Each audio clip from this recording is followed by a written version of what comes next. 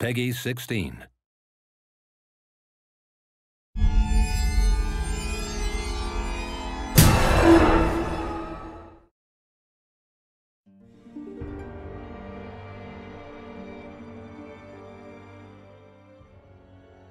バイオ、まあ、レジェンドイビルが、えーテーマ、まあ、取り扱っている題材としてウイルスっていうものはですね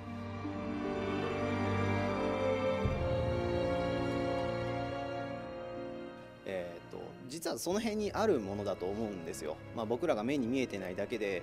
空気の中にはウイルスなのがいっぱいありますよね。でそれがきっかけで風邪をひいたりですね、まあ、怪我した人がそのところにウイルスがつくことによって、まああ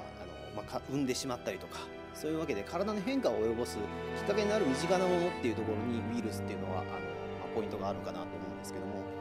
レジェンドビルはそこに対して、まあ、人間がこう怖く怖いものを想像するっていうイマジネーションを加えた結果、えーっとまあ、バイオがゾンビができたりですね、えーウーズができたりと、まあ、そういった感じで、えー皆さんをこ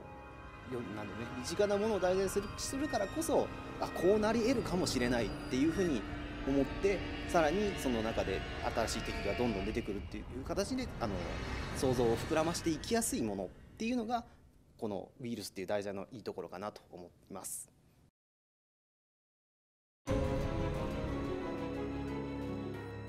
ですね、レイチェルとかあの、まあ、皆さんがメーデーさんと呼んでいるスキャグデッドとか、えっと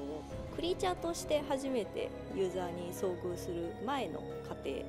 を描くことでもともとはその人が普通に生きてた人間であってウイルス感染によってそういう恐ろしい世のものになってしまったっていうことを描くことで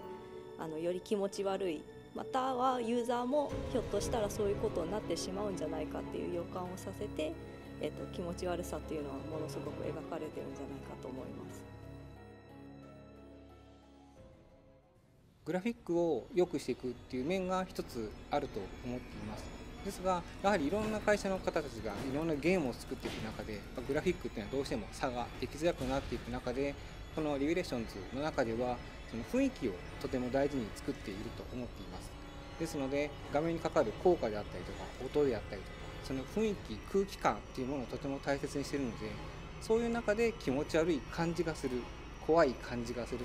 というところにとても重要なファクターとして設けて作ってこれているんじゃないかと思っているのでこのゲームを遊ぶことによって気持ち悪いっていうのいろんな種類があるっていうのをまた分かってもらえたらいい